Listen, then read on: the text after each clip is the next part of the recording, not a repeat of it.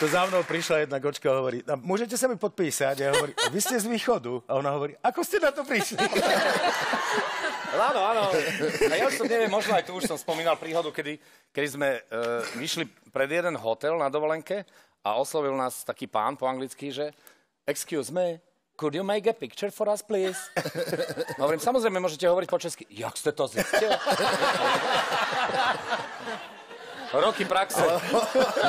Tisíce ďakovných listov. Oni nech, nech v akomkoľvek jazyku, tak majú ten prízvuk. Tam je sprechen Sie Deutsch?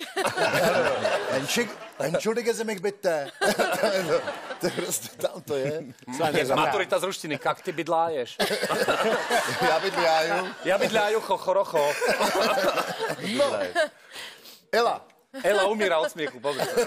Ešte sme veľmi ďaleko od jej povolania. Ela, rozmýšľa, na čo som sem prišla? Ja som už šťastný, že nevidíme, čo ona má v tom obláčiku teraz tak nad hlavou. Ja ti poviem presne 100 eur.